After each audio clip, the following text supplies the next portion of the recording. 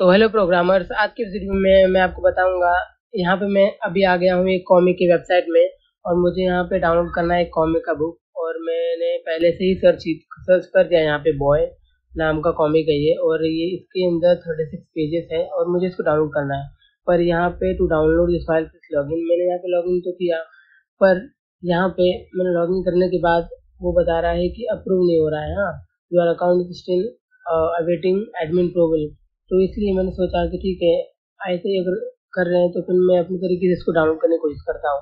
तो मैंने क्या देखा, ये यहाँ पे आपने देख लिया ये एक पेज आ रहा है और जब मैं यहाँ पे इसको नेक्स्ट दबाऊँगा तो नया पेज आ रहा है। तो मैंने एक इंस्पेक्शन के ऑप्शन में गया और जाने के बाद डायरेक्ट नेटवर्क में और नेटवर्क में फिर जाने के बाद मैं यहाँ पे नेक्स्ट दबा रहा हूँ तो यहाँ पे एक इमेज आ रहा है तीन वाला और मैं इस पर क्लिक करूँगा तो मुझे इसका इंफॉर्मेशन मिल जाएगा। मतलब ये जो है, इस लोकेशन पे इस लोकेशन पे ये इमेज सेट है।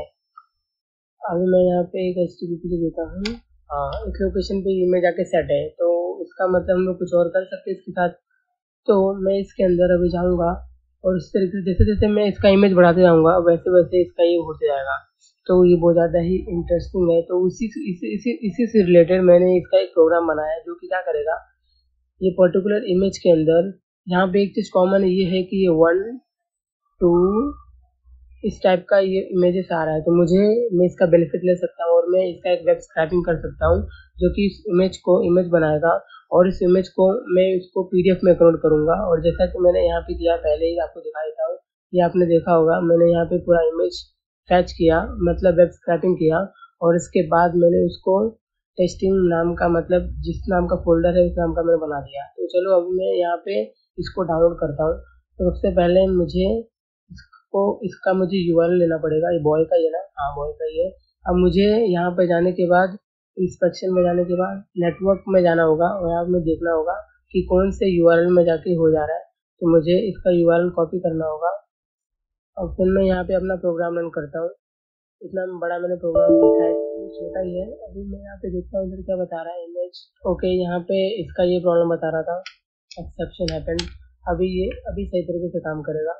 तो अभी मुझे यहाँ पे इमेज अभी हम इनको फोल्डर डालना है। तो मैं मैं डालता हूँ यूट्यूब यूट्यूब का मैं एक नाम का फोल्डर डाल दिया करके। और यहाँ पे यू मुझे क्या, कौन सा यू डालना है? मुझे ये वाला यू डालना है, पर मुझे सिर्फ़ इतना पार्ट डालना है। इतना पार्ट और फिर इसका जब मैं एंटर करूँगा तो ये स्टार्ट कर देगा अपना प्रोसेसिंग तो ये यहाँ पे दिखा रहा है वन इमेज सेव तो हम लोग यहाँ पे मल्टी थ्रेडिंग का यूज़ करके कर सकते हैं, पर मैंने सोचा कि इतना बवाल करने से अच्छा हम लोग नॉर्मल यूज़ करते हैं। तो इसके अंदर ये थर्टी सिक्स इमेजेस है। तो ये थर्टी सिक्स इमेजेस के बाद इसके, इसका एग्जीक्यूशन रोक देगा और इसके एग्जीक्यूशन रुकने के बाद वो इसको पीडीएफ में कन्वर्ट कर देगा और जो कि सेम डायरेक्टरी में है। तो हम लोग इसके डायरेक्टली डायरेक्टरी में जाते हैं। इसका डायरेक्टरी क्या था? यूट्यूब था। तो यूट्यूब के अंदर हम लोग जाते हैं तो आप यहाँ पे देख पा रहे होंगे कि वो धीरे धीरे करके पूरे इमेज को कन्वर्ट करते जा रहा है। और जब आप यहाँ पे one two three four five six seven eight nine ten ये सब देख रहे हो, ये सब इमेज इमेजेस के फ़ाइल नेम है। और यहाँ पे सोलह, सत्रह आ गया, फिर उसके बाद अठारह, उन्नीस, बीस, इक्कीस, बाईस, तेईस, चौबीस, इस तरीके से छब्बीस तक होगा और उसके बाद वो उसको पीडीएफ में कन्वर्ट कर देगा।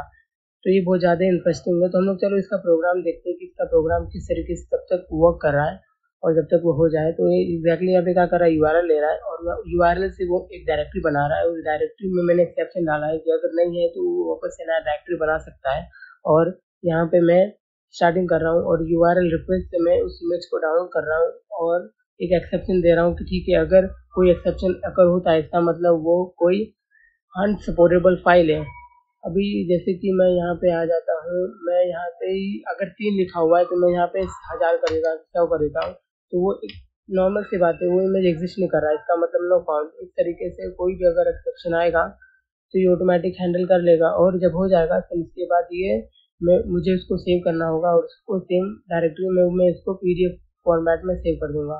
तो अभी देखते हैं। यहाँ पर, यहाँ पे छब्बीस हो गया और यहाँ पर अभी देखना है मुझे कि आगे क्या होने वाला है। क्योंकि मैंने आगे टेस्टिंग नहीं किया है तो मैं इसको एक अलग नज़रिए से भी कर सकता हूँ। मैंने इसका टूड के प्रोग्राम भी लिखा है एक। तो मैंने यहाँ पे लिखा था यूट्यूब तो मैं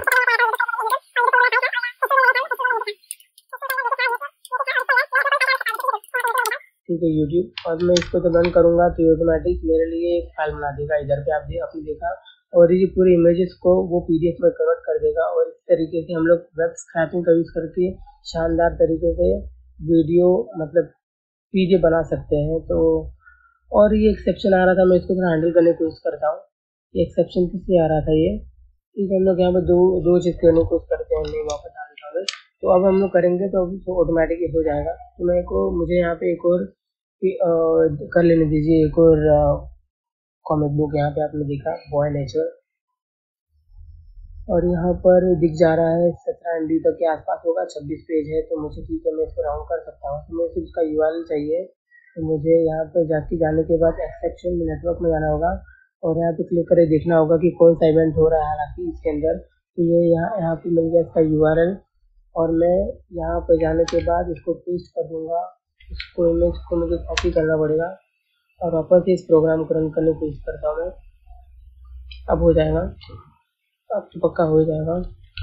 यूट्यूब फोर और मुझे डालने के बाद बस इंतज़ार करना थोड़ी देर फोर आइकन गया सोना चालू हो गया है।